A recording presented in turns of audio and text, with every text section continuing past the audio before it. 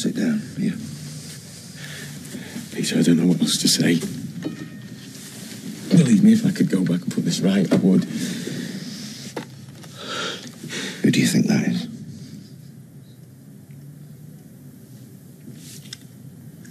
I'm so sorry. Who is it? Who is it, Billy? I want you to say her name. Susan. Susan. That's right.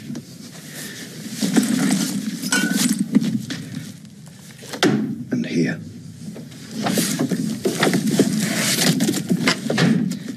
And here. And here. Dad's got loads of pictures of her. Way more than he's got of me. Don't you think that's strange?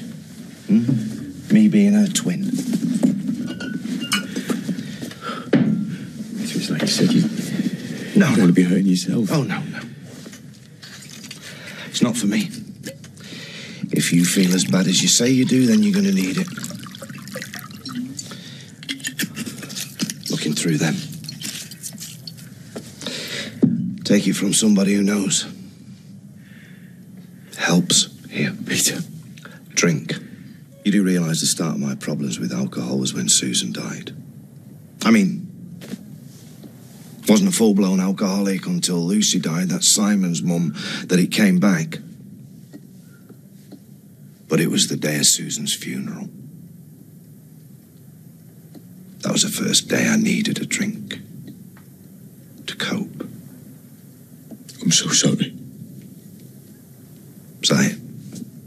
So come on. Hey, anything else?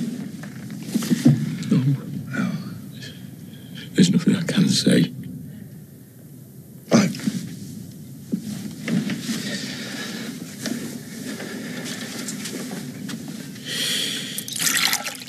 Then drink.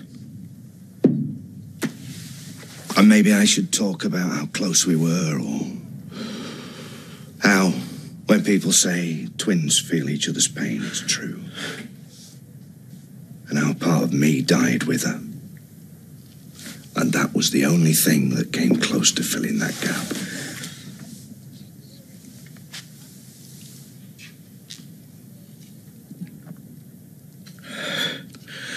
And now I don't even have this. Why didn't you just let me die? You could have done. Yeah, yeah. I've been asking myself that. Just because you're a good man. Oh, You're better than me. Susan would have been proud.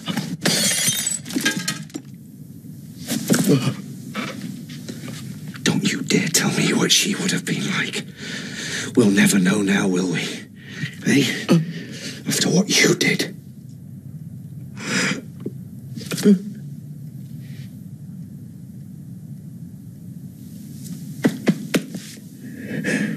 Don't worry. Dad won't mind. See? Plenty more where that came from. There you go.